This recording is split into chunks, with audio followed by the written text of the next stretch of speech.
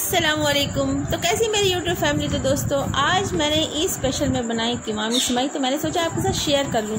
तो ये किमामी सिवाई थोड़ा सा बनाने में मुश्किल होती है टाइम भी लगता है, लेकिन मैंने सोचा चलो थोड़ी सी छोटी करके ये इस वीडियो आपको दिखाई देती हूँ, क्योंकि बहुत सी मेरी जो फ्रेंड्स थी, उनकी फरमाइश थी कि आप जो है किमामी सिमई की रेसिपी हमको ज़रूर बताएँ। तो वैसे भी ऑलरेडी मेरे चैनल पे अपलोड है, अगर आप चाहें तो वहाँ देख सकते हैं, लेकिन मैंने सोचा चलो आपके साथ वीडियो शेयर कर लूँ।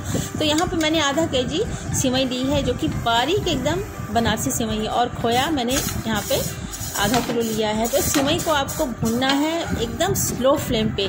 हाई फ्लेम पे नहीं स्लो फ्लेम पे भूनते हुए इसे जब 50 परसेंट ये भून जाए तो इसमें डाल दीजिए घी। और घी के साथ ही इसको आपको अच्छे से भूनना है। जब तक इसमें सौंधापन और हल्का जैसे मतलब ब्राउन ना हो जाए लाइट ब्राउन कलर तब तक इसे आपको भूनते ही रहना है, वो भी स्लो फ्लेम पे। और खोए को हमने यहाँ पे, देखिए, भून लिया है। ये याद रखिएगा, गर्मी का दिन है। खोया आप सिमई में कच्चा मत यूज़ करिएगा। खोए को हमेशा जो है थोड़ा मतलब लाइट ब्राउन करके उसे तब सिमई में डालिएगा। इससे आपकी सिमई ख़राब भी नहीं होगी और ज़्यादा दिनों तक टिकेगी भी। तो यहाँ पे मैंने खोया भी भून लिया है, जैसा कि आप देख रहे हैं। और देखिए, इसका कलर कितना माशाल्लाह से लाइट ब्राउन है। तो यहाँ पे खोया मैंने कढ़ाई में से निकाल लिया तो उसी कढ़ाई कढ़ाई में मैंने मखाने भी थोड़ा घी डाल के फ्राई कर दिए। तो किमावी सिमई कहने को किमावी सिमई होती है लेकिन टाइम बहुत लगता है। तो यहाँ एक तरफ़ मैंने शीरा भी चढ़ा दिया है और शीरा मैंने आधा के जी सिमई के हिसाब से यहाँ पे डेढ़ किलो चीनी ली है।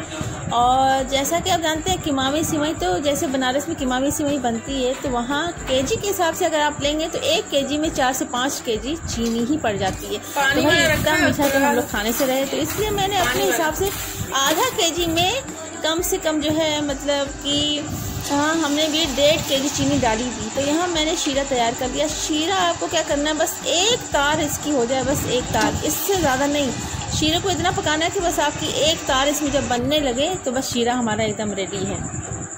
और यहाँ पे हमने देखिए नारियल लिया है और जितने भी ड्राई फ्रूट हैं जितने भी आप ड्राई फ्रूट खाते हैं जो पसंद है आपको वो ड्राई फ्रूट ले लीजिए उसे रोस्ट कर लीजिए घी में रोस्ट करिए और यहाँ मखाने मैंने रोस्ट करके उसे मिक्सी जार में थोड़ा सा ग्राइंड कर लिया है। थोड़ा सा मोटा मोटा रखा है और थोड़ा सा ग्राइंड और यहाँ पर देखिए हमने घी जिस पतीली में मैंने सिवई को भुना था, उसी पतीली में मैंने घी डाल दिया है और देसी घी ही आपको यूज़ करना है और उसमें दो से तीन इलायची और दो लौंग डाल दीजिए, जैसे वो चटक जाए, बस जो शीरा हमारा बना हुआ है, बस उसमें डाल दीजिए।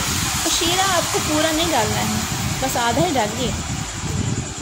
और शीरा डालने के बाद से बस इसमें अच्छा सा एक बॉयल आ जाए। जैसे ही बॉयल आ जाए, बस क्या करना है आपको, जो सिमई आपने भून के रखी हुई है, उसमें ऐड कर दीजिए। लेकिन उससे पहले आपको क्या करना है गैस की फ्लेम को स्लो कर देना है। और जब सिमई आप डालिए तो एक साइड में डालिए, पूरे में सिमई आप में डालिए।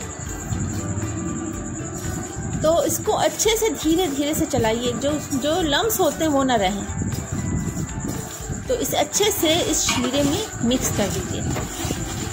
जब हमारी सिमई शीरे में अच्छे से मिक्स हो जाए जब आप देखेंगे कि सिमई अच्छे से मिक्स हो गई है तो उसे क्या करना है आपको बस लिड लगा के 10 मिनट की स्लो फ्लेम पे रख दीजिए और भून जाइए।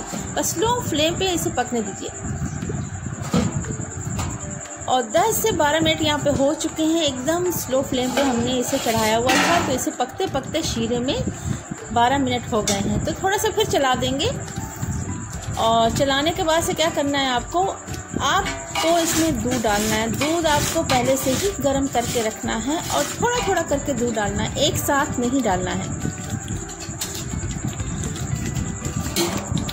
तो हम यहाँ पे क्या करेंगे? पहले इसे ढक के रख देंगे पाँच मिनट के लिए और पाँच मिनट के बाद फिर इसे देखेंगे आप कि ये सिवई जैसे ही देखिए आप बबल्स आ रहे हैं ऊपर। तो इसी बबल्स में इसको पकना है, शीरे में पकना है। अब हम क्या करेंगे? गर्म दूध लेंगे और दूध अच्छा होना चाहिए, गाढ़ा दूध होना चाहिए। ये नहीं कि पानी वाला दूध हो, गाढ़ा दूध हो और गर्म हो थोड़ा थोड़ा करके हमको इस सिवई में डालना है। तो जब किमामी सिवई आप बनाते हैं तो एकदम से उसमें दूध नहीं डालना है, क्योंकि हमको सिवई को गलाना नहीं है। जब तक किमामी सिवई में थोड़ा सा कच्चापन नहीं रहता है, तब तक किमामी सिवई का मज़ा ही नहीं आता है। तो इसे थोड़ा सा दूध चलाने के चलाने के बाद से फिर हम डाल देंगे खोया। जो हमने डाला है भुना हुआ था, उसको डाल देंगे। तो थोड़ा पहले डालेंगे, थोड़ा बाद में डाल देंगे। तो इस खोए को डालने के बाद से इसके साथ भी चला देंगे। तो यहाँ पे हमको पकाते हुए कम से कम 20 मिनट हो चुके हैं, लेकिन इस वीडियो को मैं छोटी करके आपको दिखा रही हूँ। और किमामी सिवई को जो है, आप एक के जी के हिसाब से बनाएँगे तो कम से कम दो घंटा लगता है। तो हमें यहाँ पे डेढ़ घंटा लगा था। और इसमें आप ऐड कर देंगे सारे हमारे जो ड्राई फ्रूट हैं, बादाम, काजू जैसे कि मखाने हो गए जो हमने ड्राई रोस्ट करके इन्हें ग्राइंड कर लिया था, वो भी डाल देंगे और इसे अच्छे से मिक्स कर लेंगे।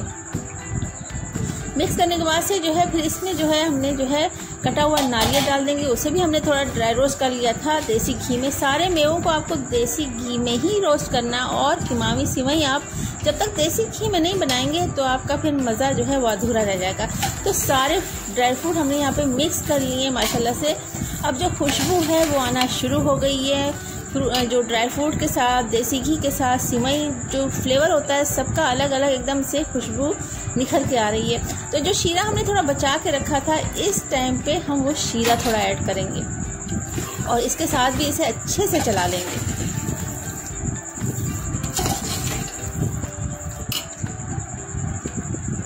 तो यहाँ पे चलाते हुए भी हमको इसे स्लो फ्लेम पे 10 मिनट हो गए हैं। मतलब पकते पकते और चलाते हुए भी 10 मिनट हो चुके हैं। यहाँ पे हमारा टाइम जो हो रहा है वो एक मतलब एक घंटा हो चुका है, एक घंटा बारह मिनट हो चुके हैं। अब इसमें फिर से हम थोड़ा दूध ऐड करेंगे। दूध फिर आपको गर्म ही करके डालना है और ज़्यादा एकदम से नहीं डालना है। और थोड़ा सा लीड लगा के हम इसे पाँच दस मिनट के लिए कवर करके रख देंगे और उसके बाद से आप देखेंगे कि दूध थोड़ा फैल गया है। फिर इसे हम चलाएँगे और अच्छे से मिक्स करेंगे।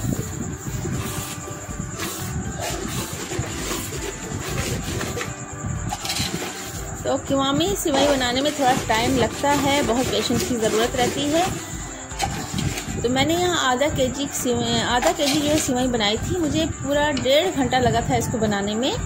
तो बहुत सा पेशेंस रखना पड़ता है। तो यहाँ पे अब हम ऐड करेंगे घी, देसी। हमने शुरू में घी डाला था, सारे ड्राई फ्रूट हमने देसी घी में ही रोस्ट किए थे। इसलिए इसमें कोई भी रिफाइंड कोई भी डालना नहीं जाएगा। सिर्फ़ देसी घी ही जाएगा। और देसी घी के साथ इसे आप थोड़ी देर चलाने के बाद से पाँच से बारह मिनट स्लो फ्लेम पे चलाते रहिए, पकाते रहिए। जो दूध का पानी है, वो भी थोड़ा सूख जाए। तो बस देखिए, हमारी सिवई यहाँ पर डन हो चुकी है। और अब हम करेंगे सर्व तो ये हमारी सिवई सर्व करने के लिए एकदम रेडी है। तो चलिए, अब डिश आउट करते हैं।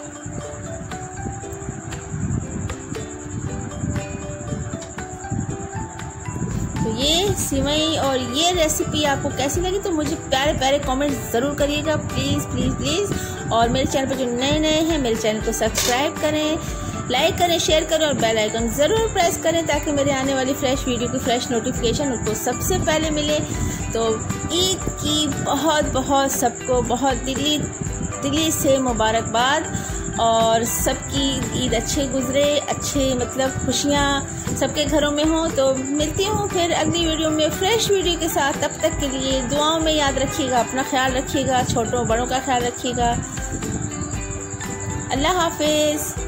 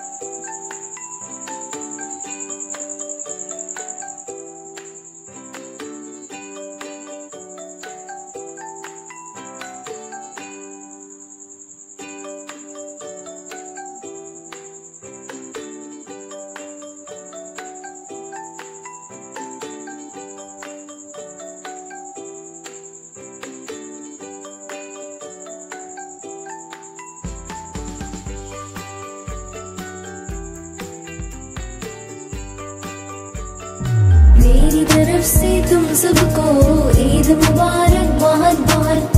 दिल से जा से तुम सबको ईद मुबारक, बहुत बहुत। मुसरतों का दिन है ये, मोहब्बतों का दिन है।